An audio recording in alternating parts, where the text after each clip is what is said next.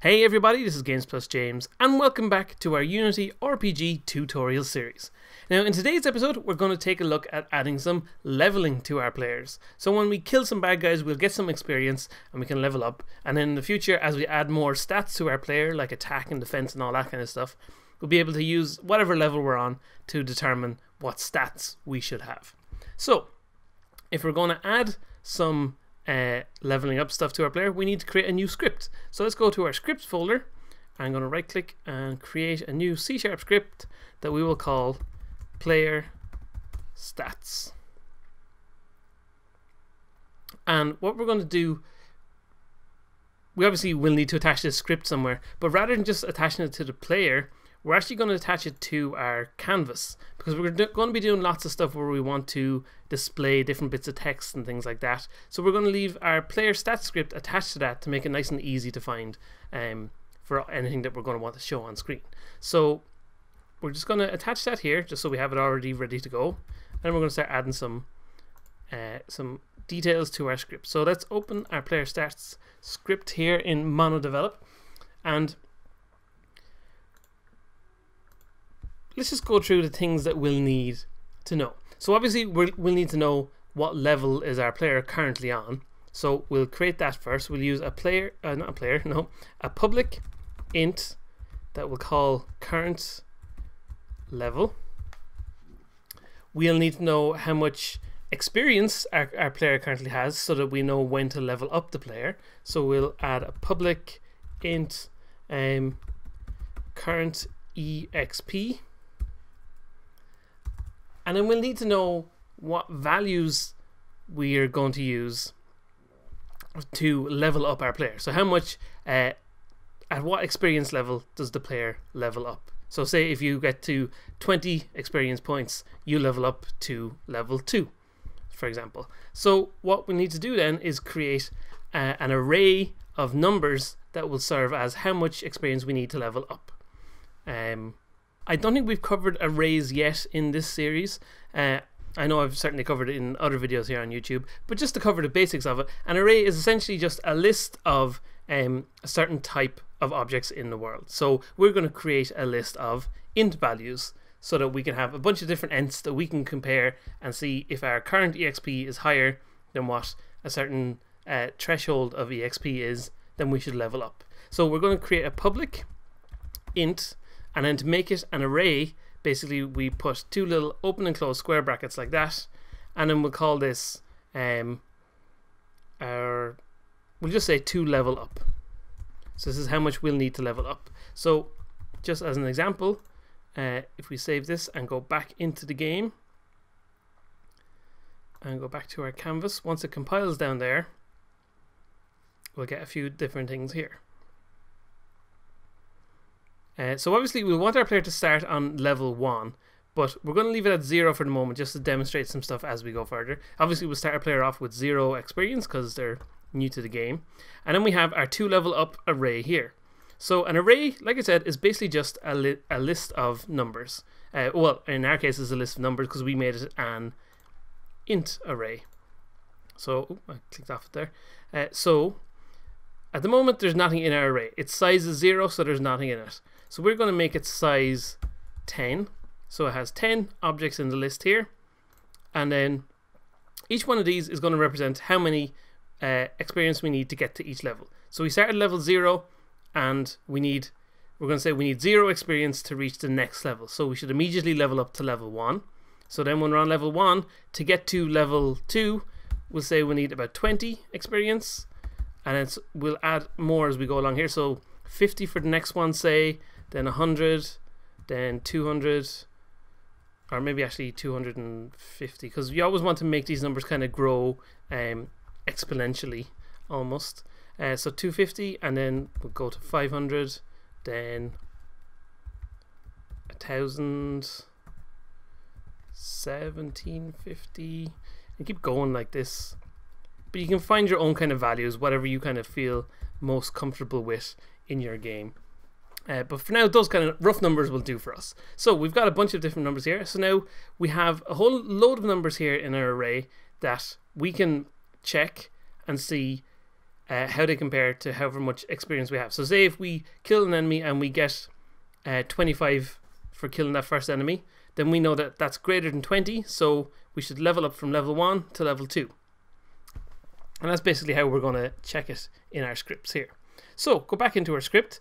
So we'll need to do just that. We'll need a way to check how much experience do we currently have and uh, is it more than what we need to level up. So the way we'll do that is just we go if our current experience is greater than or equal to in our two level up array so we'll say two level up what we want to do is go to the position of what our current level is so we start off at level 0 and then we see element 0 in the array here um, we need 0 to level up. So say for example if we were to if we wanted to go specifically to level 0 here if we were doing this if check so we put a 0 in between the two brackets after 2 level up and there's square brackets there. So after after we're leveling up or after we're doing that check straight away when the game starts we would know that our current experiences it is equal to uh, what is in position 0 on level up so position 0 here is uh, element 0 which is the value of 0 so if that's true, then we want to level up our thing. But say, for example, we were uh, we had 15 experience at the moment, and we want to check that against uh, level uh, 1. So then it would look at element 1 here, and it would say, is 15 greater than or equal to what's at position 1? So what's at position 1 is the value of 20 here, and it would say, okay, no it's not, so we won't run whatever code is in here. And we know rather than just having to put in a hard code in a number here, we always want to check it against what current level we have. So we can type in here, what is our current level? So then every time we're checking in here, it's saying, okay, is it greater than what we, what our current level is and what we need then to get to the next level? And if it is, then what we want to do is level up the player. So we can just say here, current level plus plus.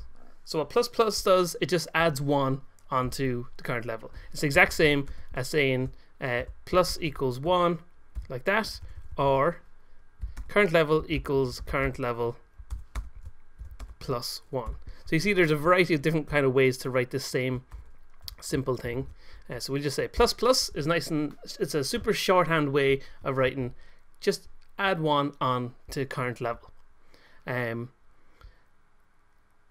and so we can demonstrate this in action now by jumping back into the game. So if we look at our current level, when we first play the game, we know that we're starting off with zero experience. And uh, if we're on level zero, so if our current level is zero here, then we know we need zero experience to level up. So what should happen is straight away when we run the game, we should jump onto level two, or we should jump our current level to being level one. So there we go. It popped into level 1 just the way we want it to. So the next thing we obviously need is how to actually add some experience to our player. So we're going to need to add a little function down here. So below our void update, we'll add uh, public void add experience, much like we did for when we wanted to hurt the player and stuff like that. We had to create an extra function down here. Uh, and what we're going to what we need to pass into it is how much experience we'll need. So we'll say int experience to add. And we'll have our curly brackets. And then whenever this is called, all this is want we'll want to do is say, okay, our current experience plus equals experience experience to add. So however much experience we're going to add, uh, we'll add that onto what our current experience is. So when are we going to actually add some experience to the player? Well, we know that whenever we want to actually add some experience is basically when we have uh, killed an enemy. And what controls how much health our enemy has? Well, obviously our enemy health. Oh, if we could scroll up, it's just compiling there for a second. Uh, our enemy health manager. So we're going to open up this here in Mono MonoDevelop. I already have it open. Uh, and basically, what we're going to need to do is we're going to need to be able to access the player stats uh, object in the world. So we'll need to make a reference to it up here. So we'll make a private player stats and we'll call it the player stats just to keep it nice and simple. Then in our start function here, we want to search for that player stats. So we'll say player stats equals find object of type uh, player stats like that. Uh, oop, I'm adding the wrong things in here. We need to put uh, open and close bracket like that. And then what we need to do is basically when our health gets below zero for our enemy, what we'll do is say, okay, at that point then we need to add some experience to our player. So we'll say the player stats dot add experience and then how much experience are we going to add? Well obviously we want to be able to do this for lots of different enemy types, so we'll need to decide based on what the enemy is, how much experience to give. So we'll add an extra reference up here for public int uh, that we'll call experience, or we'll just say shorten it down, exp to give, like that. And then down here, when we're adding experience, we can send out however much our exp to give is. So we'll just finish that there and close it and hit our semicolon. And then we'll go back into the game. And now, if we go to the prefabs for our slimes, rather than going through each one, uh, we'll go to the prefab once it's finished compiling and we'll go to our slime red and then down here we'll decide how much experience to give we'll say we'll just say actually we'll just say 25 to keep it nice and simple um, and then what we should see if we go back to our canvas here and we just keep an eye on our level so we play the game and our level should immediately bump up to level 1 like that and then if we kill an enemy oh, without him killing us hopefully oh, that might be harder than that might be harder than I originally thought. We're going to have to improve our attack animations. Uh, we we covered how to do it on a very basic level, but at the moment it's very hard to hit an enemy. So we're we are going to cover um, a better way to do that in an upcoming episode. Uh, so let's kill this guy. Uh, ooh, kill him. There we go. We killed him.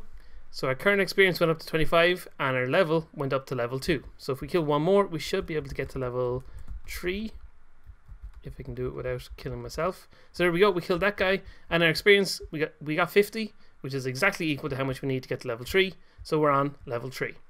So how can we uh, display this information to the player? Well,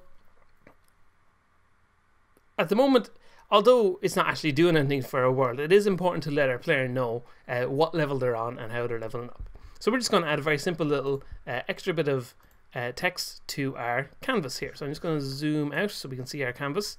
So we've got our HP and our slider up in the corner here. So let's just duplicate our HP text here and we're going to then update it in our UI manager. So I'm just actually going to rename this text to be HP just so we can keep track of it. Then I'm going to duplicate it. I'm going to drag it down to here and I'll rename this to uh, level. And then in the box here, I'm going to type just level and I'll just say 99 for now. It doesn't really matter what we put in because that's going to be replaced once the game is running. And then we'll go uh, if we go look at our canvas here on our canvas we have our UI manager script attached. So I'm going to we, we've opened the scripts normally to going into our scripts folder but I'm going to open it here by double clicking on UI manager. And I'll do the exact same thing. It'll open it up here in MonoDevelop uh, just give it a second. There we go. I already had it open, so kind of delayed for a second. So on our UI manager, now we want to update our current level with what's in our player stats. So we're updating our health down here, um, just constantly keeping it up to date. So we'll do the same thing with our level. So on, we obviously need to know, uh, make a reference to our player stats here. So we will create a private player stats and it will call the the PS to keep it nice and short so it's we know that's the, the player stats. And then in our start function we'll obviously need to get that component so we know that our player stats is on the same uh, object as our UI manager. So what we can do is say the PS equals get component player stats like that. And we can save that.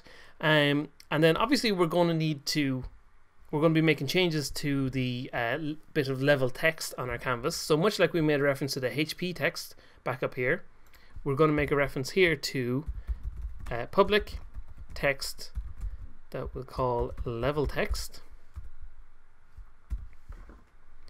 And although we haven't hooked it up yet, we will in a minute, but we know that that's where we want to make our changes to. So then in the update loop here, after our HP is updated, we can update our level the exact same way. So we can say level text dot text is equal to level uh, colon uh, and then we close that semi uh, with a semi uh, no a quotation mark. That's the word I was looking for. Uh, so our quotation mark then we'll add on what our current level is. So that'll be our the PS dot current level and we hit our semicolon save that and if we go back in here now we should be able to just hook that up and then we should be seeing our level being kept up to date and keeping our players in the know of what's going on so once it compiles, there we go, we've got our slot here. So we'll drag level over into that slot and I will hit play. And there we go. So we've got our level 1 here. We'll kill an enemy and bump up to level 2. Kill another one, we should... Whoop. No, if I could hit him with the sword. There we go, we're on level 3. So our levels are being kept nice and up to date. Our player knows uh, where they are and we they know that they're probably getting a bit stronger um, as they're leveling up. So we can be like, we can also increase the player's HP and stuff like that as they level up through the game. Uh, so we're going to look at doing that kind of stuff in the future. But I think we might actually take a look at uh, improving our attack animation in the next episode because it's getting a little bit annoying having to kill these guys. So thanks for watching this episode, and I'll be back soon with some more RPG tutorial goodness. Thanks for checking out this episode, and if you want even more Games Plus James goodness, make sure you hit those subscribe and like buttons. You can also find me on Twitter and Facebook by following the links on screen, where you can find out all the latest news about the channel. And if you want to help support the show, check out the Patreon page where you can get exclusive content in return for helping make the channel even better. Thanks for watching, and stay tuned for more.